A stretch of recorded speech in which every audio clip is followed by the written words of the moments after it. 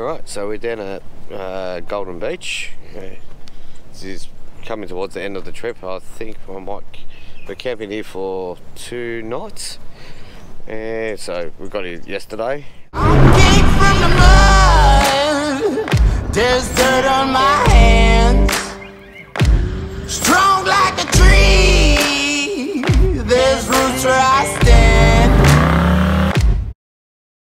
I'll give you a little bit of a view of our campsite. You got the track to the beach just over there. Big mighty patrol.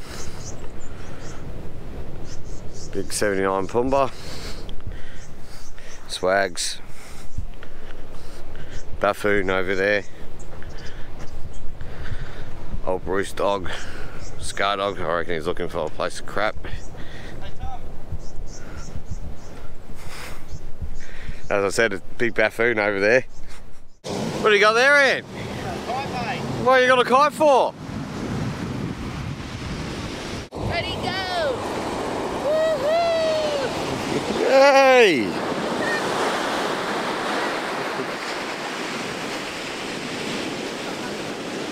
Hey, how are you?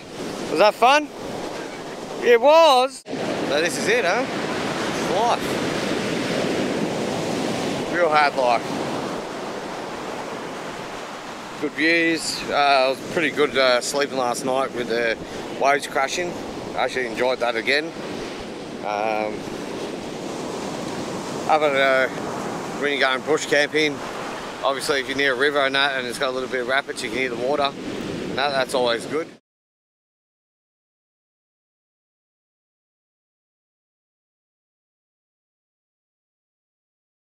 Tomorrow we'll be uh, departing, uh, going a different way, where um, Anne and Carly and the bub will be going somewhere else and me and dad will head start heading towards Melbourne and from there we'll uh, end up setting up camp along probably along the beach somewhere. What's going on there Ed? How many chairs have you broken yet? How many, does, how many does that make it now? They don't make them like they used to, do they? Maybe you're just getting a little bit too heavy, mate. Look at his bum sitting on the ground. Even Brucey's sitting there giggling. Hey, what? You want action? You want action? You do, you're happy. You're a happy boy, aren't you? You showing off. Showing? Alright, I kind of suck at surfing. Um, a lot harder to cast it out than what I actually figured. Um, I ended up coming back to camp anyway. Going to uh, cook nachos tonight. Kind of cheating uh, rather than cook up mince and all that. I'm going to um, just use a tin of uh, stag chili. Should be nice anyway. So nice hearty meal. Alright, so I missed another uh, uh, start of the sunset, so just came up a little bit. I had to take the dog back to camp quickly.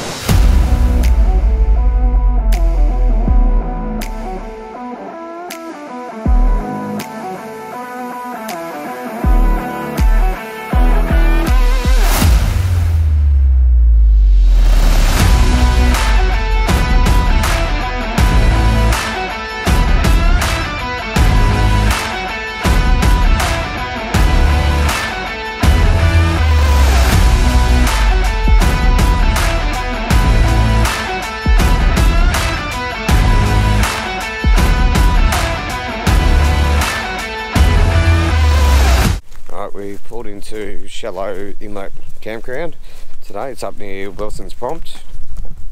Uh, it's pretty basic, nothing really uh, that much. You do have uh, fresh water here as well, and also long drop toilets. They're actually quite good condition considering what it has been like.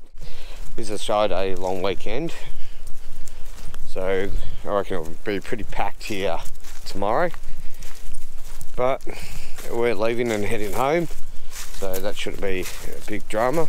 There's plenty of shade here as well, so it's not like uh, when I was staying at Banksia Bluff when uh, everything got burnt through there. It is a dog-friendly uh, camping ground. Uh, it will set you back around about 20 bucks a night. Uh, we are actually on um, peak season, so it may be cheaper if you come here any other time. You can see right here the dog's trying to get in the old man's swag because he knows he's in there. this is the reason why I have two swags. He's already killed that one there. He's busted one of the zips. Tail wagging full stop. Oh yeah, it's not a bad spot here. The campgrounds are actually very big. This isn't actually our campground. There's another one. One next to us. It's actually quite large. Our campground's there. You can see the big, big toy there and two swags. And it extends all the way out to here. Alright, you can see the big rig packed up there. Little scar dogged down there. So that's the end of a trip for us. Uh, heading back home today, we've got about a three hour drive. Uh, all in all, pretty good one. Good to catch up with uh, Ant and his family and that. Uh, also good to have the old man out. He's been hanging to go out since uh, lockdown's finished, but I haven't allowed him to come out with me yet. Um, out of all the campsites, I reckon probably right along uh, Quarry would have been the best one. Uh, clean dunnies and and not really many mosquitoes. Uh, we did see a snake there, but a red belly black snake. At this campsite on um, Shallow Shallow Cove, I think I think we're staying at at the moment. Uh, that one there was loaded full of mosquitoes. I done hard last night. Uh, you can't have a fire, so that usually keeps them away. Also, packing up camp today, found a little little tiny scorpion as well. So if you do come here, be mindful of that. Apparently, the lady, not yesterday, last night, the night before, she got seven whiting fishing out of there. So if you're a keen fisherman, definitely uh, head out there. Anyway, we're gonna pack up, finish finish doing all the little odds and ends, and then uh, head out to back home. All right, see you on the next trip.